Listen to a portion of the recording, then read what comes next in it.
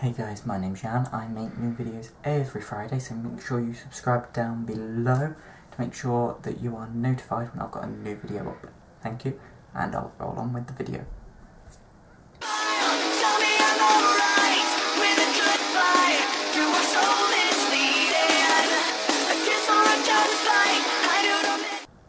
Hey guys, and welcome to this week's video.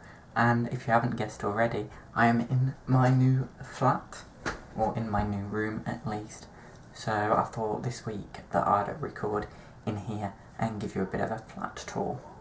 As you all know, I've just moved into uni accommodation in the city of Swansea, just here, which is in Wales and is very wet.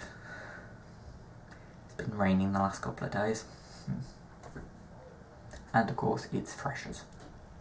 So here is my new bed, which I thought was made, but it's not quite.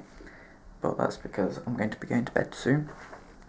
Down here is a bit of junk, but here is my new desk. You can see I've got my tripod and everything. Got a couple of things on the windowsill, my laptop. Then here, printer. It's quite a nice room, by the way. Up here are my DVDs and CDs,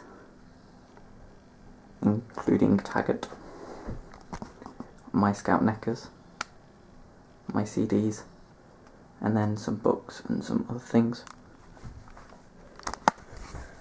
I've got a little desk here where I keep some stuff.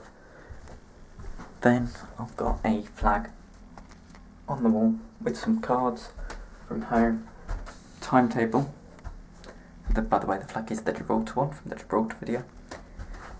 Some hoodies and my passes on the door so I don't forget them. Nice toilet in there. And my wardrobe stuff. So it's quite a nice flat to be honest. And I'm really enjoying it.